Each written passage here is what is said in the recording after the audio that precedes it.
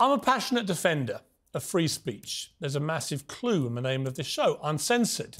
And I believe in it. I believe that all honestly held opinions, however offensive they are, belong in the open, where they can be challenged, debated, and exposed. But there are limits on free speech. There are laws, and there is a line. I've always said that Alex Jones is a perfect example of where that line got crossed. He's a conspiracy theorist and shock jock in America who made hundreds of millions of dollars by peddling outrageous lies that the Sandy Hook school massacre shooting was a hoax. For the uninitiated, this is him shouting at me a week after that massacre on CNN. The tyrants did it. Hitler took the guns. Stalin took the guns. Mao took the guns. Fidel okay. Castro took the guns. Hugo Chavez took the guns. And I'm here to tell you, 1776 will commence again if you try to take our firearms. Doesn't matter how many lemmings you get out there on the street begging for them to have their guns taken. We will not relinquish them. Do you understand? He kind of won that debate, actually, because the only response in America to the Sandy Hook massacre was to do nothing.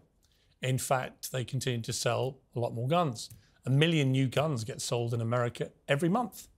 And there are already over 400 million in circulation. If you're wondering, if you're curious why there are so many more mass shootings in America than there used to be, that's why.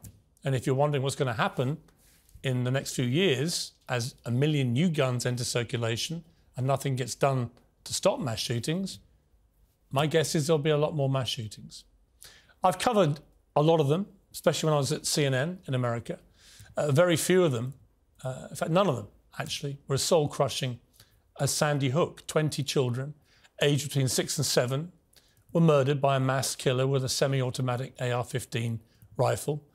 Alex Jones's reaction to this absolute appalling atrocity was to tell his followers on his InfoWars show it was all a government hoax set up by the Obama administration a deep state plot to justify new gun laws that would take away their guns.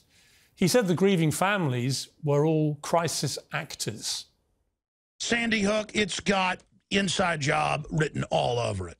Sandy Hook is a synthetic, completely fake, with actors, in my view, manufactured. I couldn't believe it at first.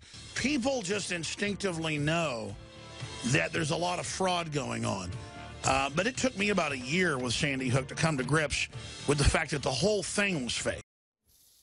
Well, as a direct result of his lies, those grieving families were harassed and threatened with death by his followers.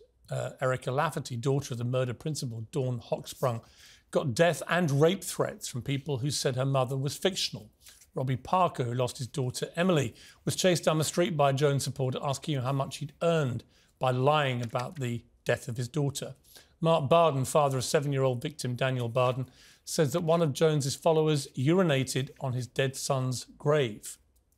Some of these families have successfully sued him now for defamation, which is explicitly not protected by America's First Amendment. Jones was ordered to pay record damages, more than a billion dollars in total. He's yet, of course, to pay a penny. He actually declared himself bankrupt to avoid doing so. Nevertheless, Elon Musk has inexplicably decided it's time to restore Alex Jones to X, formerly Twitter.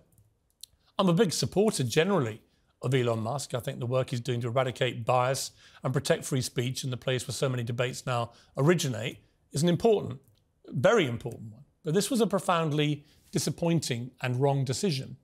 I'd like to remind Elon what he said about reinstating Alex Jones when he first took over. He said this he said he wouldn't restore him and said, My firstborn child died in my arms. I felt his last heartbeat. I have no mercy for anyone who would use the deaths of children for gain, politics, or fame. Well, that is precisely what Alex Jones did. He literally used dead children for gain, fame, and politics. So, what's changed in a year, Elon? Well, there's now a big movement to rehabilitate Alex Jones online. Many argue he's right more often than he's wrong when all the evidence points to the complete opposite. And in the case of Sandy Hook, it wasn't just one little mistake that he owned up to. Andrew Tate tweeted Alex Jones is an effing hero. Really? He's not my kind of hero. He's the opposite of a hero. This is a man who repeatedly and deliberately lied about the mass shooting of children at school to enrich himself. He called it all as phony as a $3 bill and yet that's what he is. Yes, he's now apologised, but he did that under legal duress because his business was about to go to the wall. This wasn't something he blurted out once and instantly regretted. He did this for years. And every time he lied about Sandy Hook, he made more money, night after night, day after day, week after week, month after month, year after year. And he knew what was going on to these families as a result of his harassment on air. To see him back on X selling his book, his merchandise, his website, his info wars, frankly, makes me want to puke. Every opinion should be heard, but inciting harassment and violence to profit from unspeakable grief, to pour into the wounds of those families yet more misery and pain. That's not free speech. It's deliberate hate speech, and it's disgusting.